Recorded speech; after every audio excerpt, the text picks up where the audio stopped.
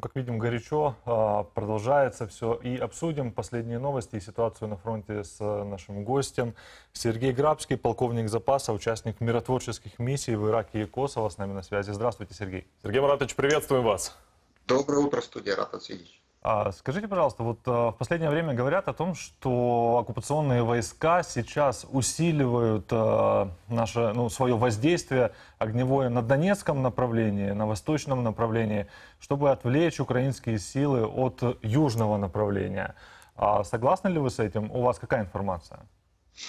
А, Я частично с этим согласен, можно сказать. Э, Почему они как бы усиливают или как бы поддерживают на том же уровне обстрелы, именно использование артиллерии и других видов э, э, огня, они это компенсируют тем, что интенсивность а, атаки механизированных подразделений российской армии несколько ослабла ну, в связи с тем, что просто ощу- ощущается тривиальный недостаток пехоты.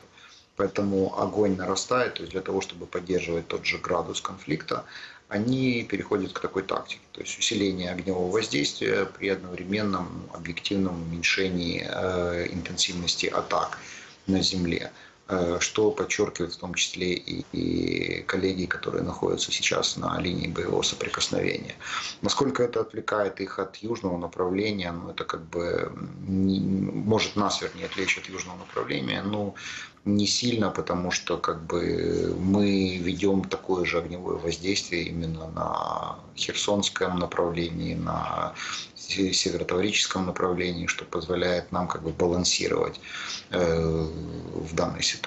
Поэтому частично могу согласиться с тем, что они пытаются нас отвлечь, но во всяком случае, знаете, в таком контексте можно еще привести и демонстрационные действия российских войск Черниговской и Сумской области, атаки на Харьковском направлении, что тоже может служить таким средством отвлечения нас от э, основного на сегодняшний день южного направления.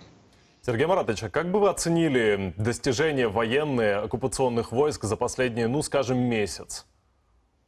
Ну, знаете, они минимальные, и это признают, в общем-то, все, потому что любые источники, которые вы можете найти, подтверждают, что противник не достиг и не выполнил ни одной своей задачи, которая ставилась перед ними.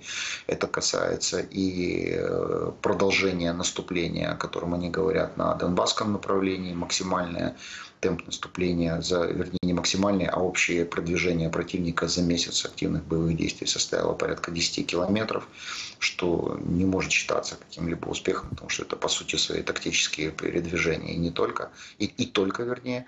А, а, Мы говорим о том, что противник не выполнил своих задач на Херсонском направлении, то есть понимая важность для него продвижения в район Николаева и в район Кривого Рога, вместе с тем мы сейчас не видим таких активных действий. Да, были попытки прорваться или продвинуться в сторону Николаева от Снегуревки, но, в общем-то, безуспешные или частичные. Противник пытался нас вытолкнуть с э, Ингулецкого плацдарма, тоже ему это не удалось, хотя Давидов Брод он все-таки сумел у нас отбить, что несколько усложнило наши задачи. Но вместе с тем э, такой интересный факт, э, о котором сейчас много пишут, что противник переводит командные пункты с правого берега на левый, э, по моему мнению, свидетельствует ну, Хотелось бы, конечно, чтобы они боялись и убегали, но с точки зрения военного планирования это свидетельствует о том, что противник рассматривает как основную задачу именно удержание этого плацдарма, то есть речь не идет о каких-то активных наступательных боевых действиях, действиях вследствие ну, уничтожения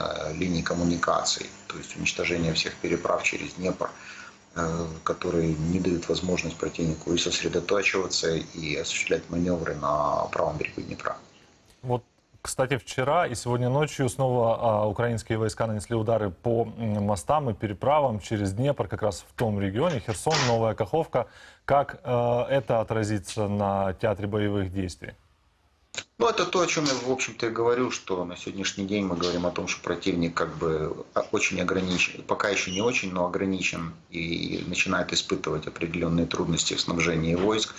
А сами понимаем, в таком случае э, он не может использовать свое преимущество в количественном, э, в- количественном составе артиллерии и танков, потому что артиллерия не стреляет, танки и не могут ехать, то есть оно превращается в кучу железа, что позволяет нам как бы более широко использовать эти возможности, то есть уже действовать маневренными своими действиями. В общем-то, поэтому мы сосредотачиваем огонь как бы и на переправах, ну и вместе с тем ведется огонь по другим направлениям и для выполнения задач по уничтожению именно базов, складов, э, пунктов управления противника. Это, эта работа ведется безостановочно.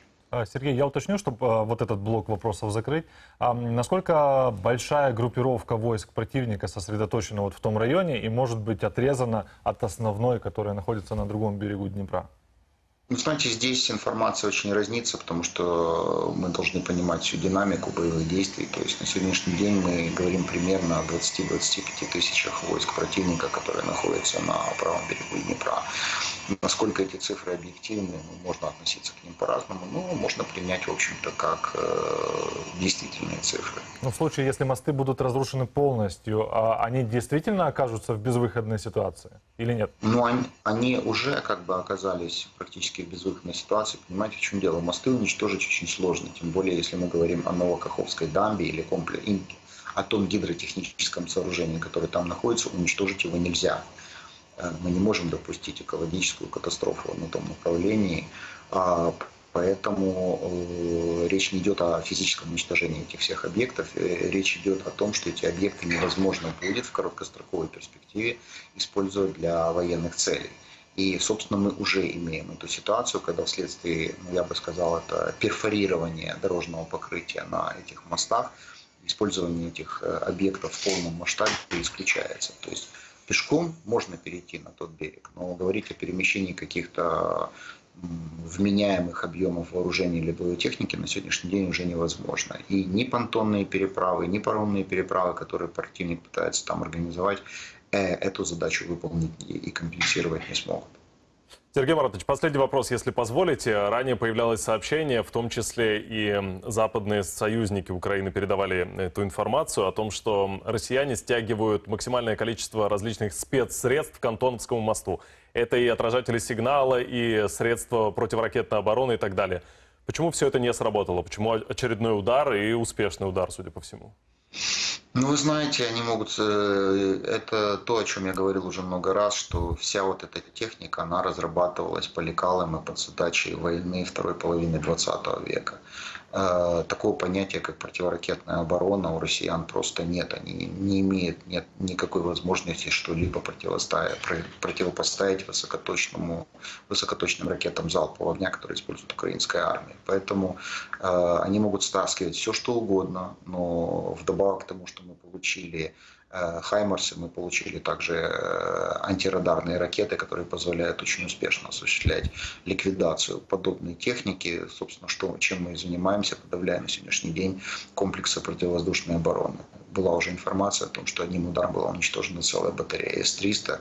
И, в общем-то, это свидетельствует о том, что россияне, ну, знаете, пытаются заняться самоуспокоением, на деле это им не очень сильно помогает, и, и фактически все переправы через Днепр э, контролируются, огнем контролируются украинскими вооруженными силами.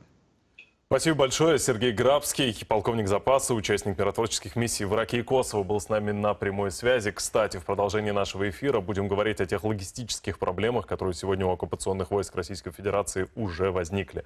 Оставайтесь с нами, будет интересно.